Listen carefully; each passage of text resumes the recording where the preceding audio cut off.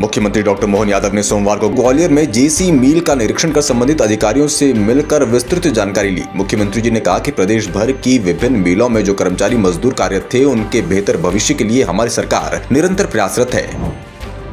मुख्यमंत्री डॉक्टर मोहन यादव ने कहा है कि हमारी सरकार के चार स्तंभ गरीब, युवा, महिला और किसान हैं। इनके हितों को हमने सर्वोच्च प्राथमिकता दी है।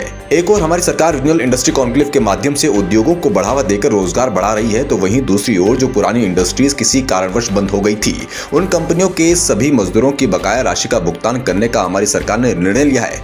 यहाँ जेसी मील के लगभग आठ हज़ार से अधिक मजदूर अपनी बकाया राशि के लिए हमसे उम्मीद लगाए बैठे हैं, जिसे चुकाना हमारी प्रथम ज़िम्मेदारी है। उप मुख्यमंत्री श्री राजेंद्र शुक्ल ने मंत्रालय वल्लभ भवन में स्वास्थ्य एवं चिकित्सा शिक्षा विभाग के निर्माण कार्यों की समीक्षा की। इस दौरान उप मुख्यमंत्री जी ने निर्माणाधीन मेडिकल कॉलेज के कार्यों को शीघ्र पूर्ण करने, राजगढ़ तथा मऊगंज जिला अस्पताल के नवीन भवन में शीघ्र संचालन शुरू करने के निर्देश दिए। समीक्षा बैठक में उन्होंने सतना में छह सौ पचास बेड के अस्पताल की उद्यतन स्थिति, श्याम शाह मेडिकल कॉलेज अस्पताल, रीवा के उन्नयन कार्यो सहित अन्य निर्माणाधीन कार्यो की विस्तृत समीक्षा कर संबंधितों को आवश्यक निर्देश दिए। राजभवन भोपाल में मध्य प्रदेश के माननीय राज्यपाल श्री मंगूभाई पटेल जी से कैबिनेट मंत्री श्रीमती संपत्तिया उइके ने शिष्टाचार भेंट की। इस अवसर पर राज्यपाल जी से विभिन्न समसामयिक विषयों पर चर्चा कर उनका मार्गदर्शन प्राप्त किया।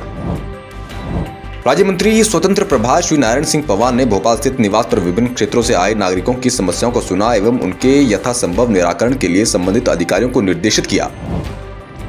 नगरीय आवास एवं विकास राज्य मंत्री श्रीमती प्रतिमा बागरी मेहर के प्रधानमंत्री कॉलेज ऑफ़ एक्सीलेंस विवेकानंद स्नातकोत्तर महाविद्यालय में आयोजित नशा मुक्त भारत अभियान में सम्मिलित हुई। इस अवसर पर उन्होंने कहा कि नशे के खिलाफ अभियान में समाज भी आगे आकर अपनी सक्रिय सहभागिता का निर्वहन करे।